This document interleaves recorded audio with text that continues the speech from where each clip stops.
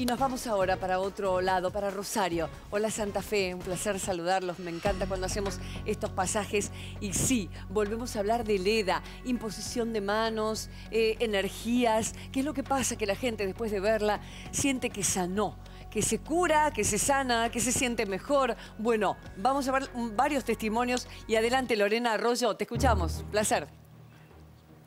Cari, muy buenas tardes, equipo también. Aquí estamos en Rosario, en el ex predio de la Rural, donde nuevamente Leda está congregando multitudes. Eh, se esperan para hoy alrededor de 15.000 personas, ah. casi el doble de lo que fue la semana pasada. Ya hay mucha gente que está acampando desde muy temprano, incluso desde ayer colectivos que vinieron desde otros lugares, ya quizás más organizados, sabiendo que la espera es larga y sabiendo que quizás eh, Leda los atienda hasta altas horas de la noche, como sucedió en la noche del martes pasado y como viene sucediendo cada martes.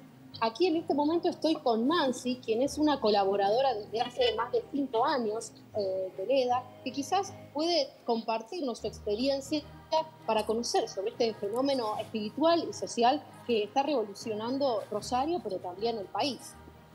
Sí, adelante, vamos a hablar con Nancy. ¿Cómo estás? Ahí, la veo. Hola, buenas tardes, Cari. La verdad que estamos nosotros muy, muy felices de, de, este nuevo encuentro que se produce multitudinario en la rural, donde la gente se congrega en fe, movidos por la fe, movidos por por también por necesidades de distintos tipos, pero por fe. Nancy. ¿eh? Porque este es un lugar. Contame la historia, a ver, ¿cómo la conociste vos, ah. ¿Te sanó, sanó alguien? ¿Qué viste? Primero, ¿cómo la conociste? Vamos por parte. Bueno, yo la conocí a Leda hace cinco años cuando estaba atravesando un momento dificilísimo de mi vida, muy, muy difícil. Pensaba que era el fin de mi vida. Eh, llegué eh, a contactarme con ella porque andaba eh, estaba desesperada. Y en una de esas visitas que yo hago a una parroquia me dan una invitación para acercarme a un grupo, voy, me, vuelven a invitar, voy nuevamente a una parroquia muy pequeñita donde el grupo era, no era esta multitud hace cinco años, eh, pero bueno, mi problema se pudo resolver también con la, con la intercesión de soplo de Dios y bueno, y a partir de ahí ya no pude decir no, eh, todo fue un sí con una entrega cada vez eh, mayor. Y para, y entonces... cambió mi vida, cambió mi vida. ya lo creo, por eso estás colaborando ahora. ¿Y qué ves ahora? Eh, ¿Qué nos podés contar de los casos que has visto? Algo que dijiste, no, esto no puedo creer que pasó, esto es milagroso. Contanos algo de eso, algún caso. Mirá, a la gente le pasa lo que me pasó a mí alguna vez. No hay nada que nos separe, que sea diferente entre mi caso y el caso de ellos.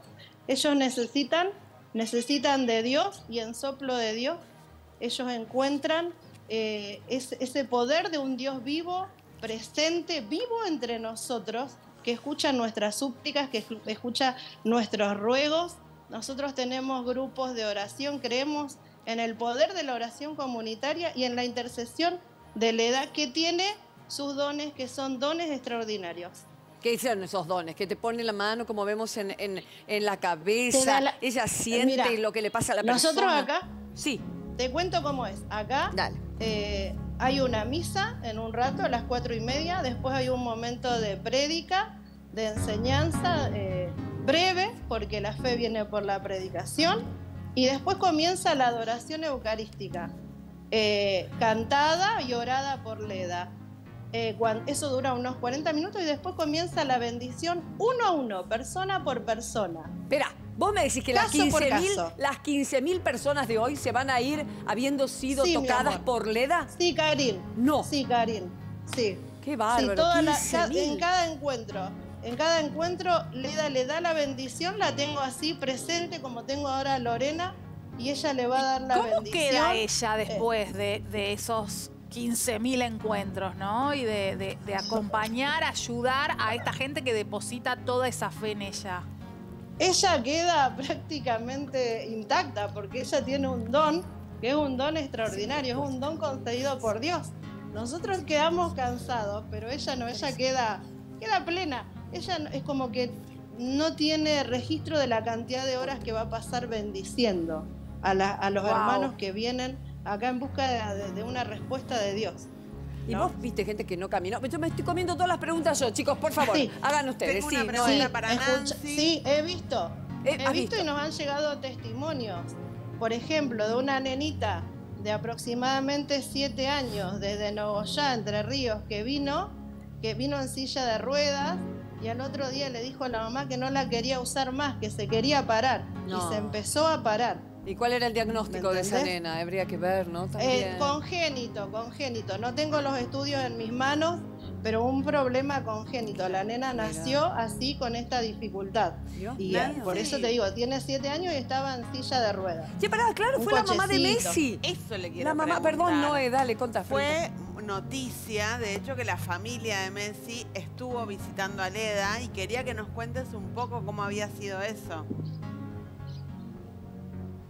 Bueno, la mamá de Messi, sí, es verdad, ustedes lo vieron todos, estuvo, estuvo acá movida así, ¿no? La de campera roja. Por.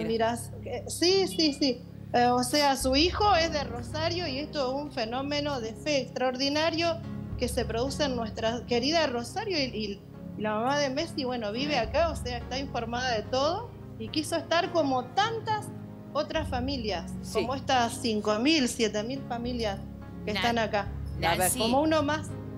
Eh, obviamente valorando la fe de todas esas personas que están ahí y todos los que han conocido y conocen a Leda. Pero bueno, somos periodistas y tenemos que preguntar. Y quiero saber qué opinas de todas las críticas con respecto a esto. ¿Por qué ya no en la catedral? ¿Por qué ya no parece ser tanto bajo el amparo de la Iglesia Católica? ¿Pasó algo? Mira, nosotros tenemos, eh, tenemos el reconocimiento, Leda, que es quien tiene este don extraordinario, tiene el reconocimiento de Monseñor Eduardo Martín. ¿sí? Entonces, bueno, eh, eso es lo que nos tranquiliza. Después lo que los sacerdotes, cada uno en su formación pueda sentir, está en cada uno de ellos. Nosotros también tenemos sacerdotes que nos acompañan desde hace años, por ejemplo, el padre Juan José Calandra, el padre eh, Cacho, que nos recibió tan amablemente en su parroquia Inmaculada Concepción. Eh, no nos quedamos con lo negativo, nos quedamos con lo positivo. La máxima autoridad, Monseñor Eduardo Martín, eh, reconoce el carisma de Leda y nos apoya. En esto que nosotros simplemente ponemos nuestro cuerpo ¿no? y nuestra vida para que ella pueda servir así a, este, a esta multitud de personas de Rosario. Nancy, sabido es, que, sabido es que Leda no, no cobra nada por esto. No, absolutamente no, nada. Está claro eso. pero si alguien quiere hacer una donación, suponete porque se ve tocado por el milagro y dice, ¿de qué forma puedo agradecer? ¿Qué hay cuando alguien le plantea Mira, hay muchísima gente que, que tocados por el milagro se ofrecen como voluntarios y son muy bienvenidos. Acá no se cobra una moneda de nada. Leda vive de su trabajo. es madre de cinco hijos, es una empresaria. Cinco pibes tiene y ve a 15 mil personas, no entiendo, por semana. Cinco chicos tiene. Sí. Mirá. Sí, eh, sí, sí, sí. Y, una nieta, y una nietita. Mirá. Entonces, bueno. Y el poder lo tuvo siempre. Este, este carisma que decís vos, este, esta capacidad de poner las manos y hacer sentir bien a las personas.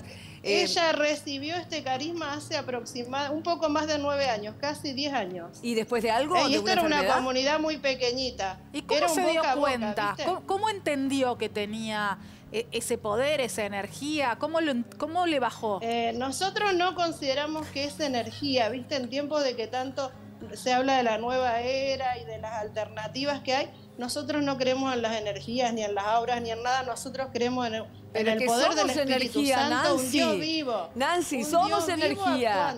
Bueno, mi amor, pero nosotros un somos Dios energía. vivo entre nosotros. A ver, Nancy, Nancy, Nancy somos energía y eso está probado por la ciencia. Entonces no creemos en la energía, no, pues somos electromagnéticos, tenemos energía. y eso no quiere decir, verá Nancy, para que te estoy hablando. Porque a mí me encantan estas notas, porque para mí, yo soy creyente, me crié en colegio de monja, pero más allá de eso, soy creyente en las fuerzas superiores y en, y en, una fuente infinita de energía y amor. Llámalo Dios, Jesús, lo que quieras. Pero al mismo tiempo hay energía entre nosotros. Entonces, Entonces, entiendo que vos digas que Dios se manifiesta o lo que fuera, pero es inevitable pensar en energías, no es un invento. De hecho, la cuántica está haciendo justamente experiencias con este tipo de cosas, con, energías que se pasan de un ser humano a otro a través de una gran fuente. Eso ya está siendo probado. Pero está bien, y ahora te dejo hablar tranquila, pero cuando vos me decís no creo en energía, tengo que intervenir, Nosotros desde ahí, desde, desde ese punto yo no te puedo explicar porque yo te voy a hablar desde la fe, ¿no? Desde lo que nosotros creemos. Y esa fe, ¿Eh? esa, e, esa presencia, ese poder eh, que decía se manifestó hace nueve años, ¿cómo, cómo lo va sintió? Pero, pero ¿cómo entendió que tenía esa capacidad, Leda? Se iba dando cuenta por lo que pasaba, un boca a boca. Ella la llamaban por un caso, iba, oraba, o, o la traían a ah. uno de los encuentros de los martes y, quien se recupera se siente agradecido y lo quiere contar. Claro. Y esto es un boca a boca, ¿viste? Nancy, sí. ¿y qué mensaje, tenés, qué, mensaje tenés para aquellos que no creemos en que esto puede ser así? Que vivan la experiencia, que no, que digan sí a Dios, que se acerquen un martes a uno de estos encuentros. Hay muchas personas que vinieron sin creer y al ver y al sentir lo que se vive acá adentro, te digo hoy la rural, pero antes las, parroquias por donde estuvimos, eh, le das una explicación y es la de un Dios vivo. Y cuando te enteras la cantidad de testimonios, de sanaciones, eh, de liberaciones, de cambios de vida, de gente que llega a los sacramentos, decís, es Dios. Oíme, a ver, Nancy tiene pareja, eh, Leda tiene pareja. Leda es casada, Leda es casada, tiene su esposo. Mira, y el eh, esposo que y el esposo que dice está con ella, cuida a los pibes, tal vez cuando son cinco. El esposo trabaja todo el día como la mayoría de las personas desde muy temprano hasta las seis y media de la tarde. Mira. Recién en estas últimas semanas un poquito le pudieron acomodar el horario como para que él haga una prédica, ¿viste? Antes de, ah, empezar la adoración eucarística. Ah, es un matrimonio entonces. Eh, eh, un apoyo pleno, Karina. un apoyo pleno. Eso no es menor. Pleno. Eso no es menor. No, no, no. Eh, pero, y no es de ahora, es de siempre. ¿Qué ocurre cuando...? De Fabricio, Fabricio se llama. Hola, Fabricio, lo vamos a, saludar, por supuesto. Eh, solo, Nancy, decirte, porque sabemos, estamos en Tele Nacional, en que cuando hablamos de cuestiones de salud, hace un momento tuvimos sentado a un cirujano aquí para hablar de, la responsabilidad que tienen los profesionales médicos. ¿Qué sucede cuando Leda puede hablar, interactuar, más allá de poner la mano? Eh, pregunta algo médico, manda al médico médico o solo queda en un espacio de fe? Eh, Leda nunca jamás recomienda que cada uno abandone su tratamiento, no muy por el contrario. Eh, no necesitan tener un estudio médico para llegar a Leda. Eh, Leda en este momento hace lo que el Espíritu Santo le indica que tiene que hacer y, es Dios el que hace las maravillas que hace. Ella simplemente ora por la persona que tiene al frente. Es, Dios el que hace, el que concede esa sanación, esa liberación, ese cambio de vida. Es Dios el que lo hace, por medio de ella. Bien, bien, Lola. Sí, quería preguntarte, cuando Leda se acerca a las personas, yo desde aquí la veo hablándole, como que les dice algunas palabras. ¿Qué les dice y en qué idioma? Y hay veces que te lo dicen un, en un lenguaje que vos lo entendés y otras veces que te lo dice con las lenguas del espíritu, que son muchas. Eh, igualmente. Perdón, pero ¿a qué te referís? No, perdón. Por ejemplo, a, sí. ¿A qué te referís con lenguas del espíritu?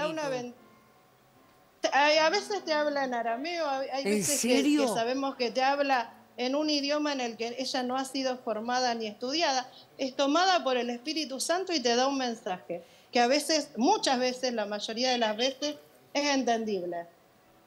Eh, es muy impresionante lo que decís, eh, Nancy, porque eh, también es, una cuestión de absoluta fe, de creer y después cómo te sentís, porque en definitiva es eso. Vos orás. Te sentís maravilloso. Bueno, a ver, la fe es eso también. es, que, es que ver que hay otros que están y hay una energía colectiva tan hermosa. Bájenme la música, chicos, que apenas puedo escuchar acá en el piso. Gracias. Eh, que es muy hermoso. Se siente hermoso. Y, se siente así. Eh, pero por eso te queríamos preguntar. Em, eh, yo sé que ella da como una especie de conferencias de prensa después de los martes. Mira, ella es absolutamente humilde, es lo más humilde que vos te puedas imaginar. No ha dado conferencias de prensa. Ah. Recién el martes pasado ah. la esperaban los medios. ¿Y? ¿Y? bueno, para que un poco despejaran el frente del altar, les dirigió unas palabras, lo, eh, fueron al parque, a la puerta de los galpones, ah. pero ella es una persona absolutamente humilde. Si fuera por ella no, no, no hablaría nada, una palabra, pero sabe que todos los periodistas, la prensa está esperando una palabra de ella. Sí. Eh, en tu experiencia, en tu vínculo con Leda, ¿cuál es el caso más difícil o el más eh, importante que ella pudo solucionar en términos de, de una enfermedad? Mirá, eh, a cada uno Dios nos da una cruz acorde a lo que podemos llevar. Para mí lo que me pasó era lo más difícil, para ella su problema es el más difícil, para el otro hermano el que tiene ella. Lo que le tocó a cada uno es Pero vos recién contabas, por ejemplo, de una nena que no caminaba.